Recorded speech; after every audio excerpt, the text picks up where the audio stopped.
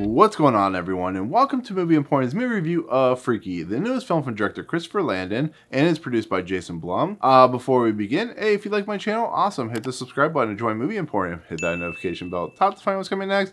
If you like this video, awesome, hit that like button and comment below on any video that you watch, including this one. So Freaky is the story of Millie Kessler, who of course is played by Kathryn Newton, and Millie is your atypical high school student, not very popular, has a couple friends, does, you know, extracurricular activities, but because of her father's death, which is a very big trope in these types of horror films, uh, she just is very lost in her kind of way and so on and so forth, and it kind of shows through, you know, how she dresses, how she acts, and just kind of despondent nature of who she is, and in the process, we have a character named the Blissfield Butcher, who of course is played by Vince Vaughn, and he is a serial killer. He is a very much a Michael Myers, very strong, takes down teens and so on and so forth. So it's a very typical thing about these types of horror films as well. And in the process, one night after a sporting event, and we have Millie, who was the actual mascot, uh, she is attacked by the Blissfield Butcher, which is the setup of this story, which is going to be a body swapping story. And he ends up stabbing her with this knife, which becomes a MacGuffin throughout the movie in the process, at midnight, they switch bodies. So we have Millie Kessler in the Butcher's character, and we have the Butcher in the Millie Kessler character, and it turns into a very interesting kind of fun take on the body swapping story where the Millie Kessler character is now a villain, and she is murdering students in the high school. And then we have the Butcher character, who is uh interesting when it turns into Millie because of how you know he acts, because it's Vince Vaughn, how he you know runs around, kind of effeminate and stuff like that. It's a very funny scenario, so it's a very cleverly done, kind of interesting way to put a body swapping story into a new type of scenario. And so, with all that said and done, with the story out of the way, uh, as you can tell, I really enjoyed this movie. I'm going to be fairly honest with you. Uh, it's a movie that I actually kind of sat on and kind of mauled over what I truly liked about the film, and it boils down to the simplicity of it being a very well worn genre, a very well worn story, and kind of given a very kind of turning on its head horror feel to it. And then you take people like Kathryn Newton, or you take person like Vince Vaughn, who can be truly annoying a lot of times, can be you know his mannerisms and how he acts is he does the same thing in a lot of films that he's in especially his comedies so bringing him in and letting him kind of run wild kind of similar to what jack black did in jumanji uh, is a lot of fun i think i think he's one of the standouts in this movie just because of what he has to do and what how he has to act you know he runs around like your atypical young female woman he has the emotions of that you know person so the fact that he is in a serial killer's body makes it even more funny because he has the authorities looking after him and stuff like that. And it's just a movie that is having a lot of fun with the genre that is portraying.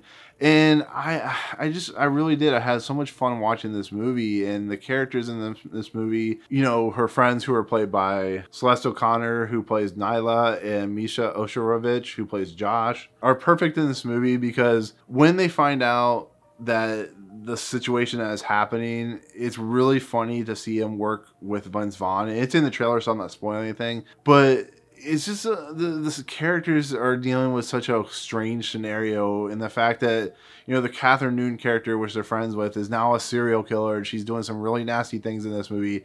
It's just a very fun, very energetic, very over the top and silly movie that has actually some heart to it because of how Vince Vaughn plays his character, how you know Kathryn Newton plays her character, and how this movie has no qualms with what it is and what it's trying to do, and the fact that you know you've seen the story many times before and it's just able to be fun and fresh and entertaining makes it just for a good time at the theater, and that's also helped with Christopher Landon as director. You know, I've actually found that he's become the most uh, consistent director working underneath Jason Blum because, of course, he did both the Happy Death Day movies, which were movies that came out of nowhere as being fun and entertaining and using the Groundhog Day effect. So Christopher Landon has this, he's in this category of directors that's able to take well worn, well kind of uh, well used tropes and genres and just kind of turning them on their heads, kind of having fun with it and taking all these characters, which you know the Kathryn Newton and the Vince Vaughn character, and kind of taking that genre and just seeing them run with it is so much fun to watch. It really is. So I give a lot of